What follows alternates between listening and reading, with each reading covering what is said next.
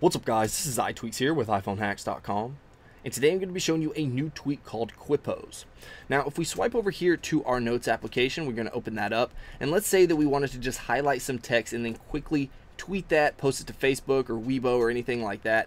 You can see all we need to do is tap and hold, select all, and then we get some options right here in our action menu. So we have our Facebook, we have Weibo, we have TWeibo, and Twitter. Now, I actually don't have any other applications or logins for Facebook or Weibo or anything like that. I only have Twitter. So if I tap on Twitter, you can see that I get a post prompt. So it's going to allow you to add anything uh, to this message or delete or edit or anything like that. You can do so before you actually post. You can add your location on Twitter, and then it's as simple as tapping post, and it's going to post that directly to Twitter. So this is actually a pretty cool tweak. It saves you a little bit of time if you're wanting to just highlight some text and then either post that to Twitter, Facebook, or Weibo or anything like that.